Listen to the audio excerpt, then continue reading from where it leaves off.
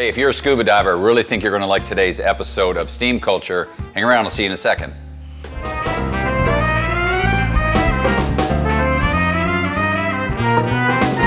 Hey, I'm Brent. You're watching Steam Culture. Welcome back to our longtime viewers. We appreciate you very much. Hey, and thanks for joining us if you're just getting on your journey with steam culture. Well, I'm telling you the story today about the SS Oregon, which was a steamship, sailed its first voyage in 1883 at a time when steamships were growing in popularity because they carried a lot of people and a lot of cargo, things like mail, commerce was all handled on these steam shipping lanes. Now, the, the Oregon had a pretty unique steam engine. It had a triple expansion compound steam engine, which means there's, in this case, triple, three cylinders. There's a high pressure 70 inch cylinder on the front end.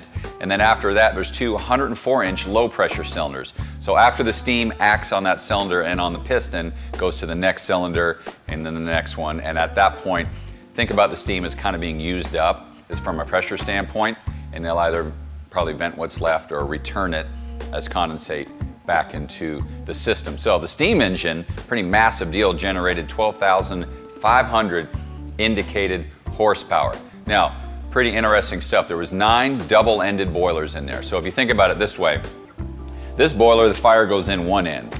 On a double-ended boiler, it goes in both ends, which is not um, which is normal for maritime uh, boiler operations, especially if you do any kind of reading on this kind of stuff. We see them all the time. Now, why am I telling you about the SS Oregon on steam culture? And if you're a scuba diver, you're gonna be pretty happy because it's at the bottom of the ocean. We're not happy about that, but now we are if you're a scuba diver because it has become an incredibly popular diving site. In 1886, the Oregon was collided with by another boat and down it goes to the bottom of the bay, only 15 miles from its destination.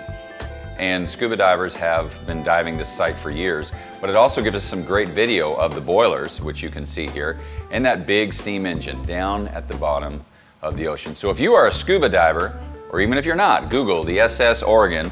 Google us before you go there because we already told you about it. Why waste your time Googling all over the place? Just come to us where we tell you the stories here on Steam Culture. I'm going to work on something for you next week. Thanks for joining us.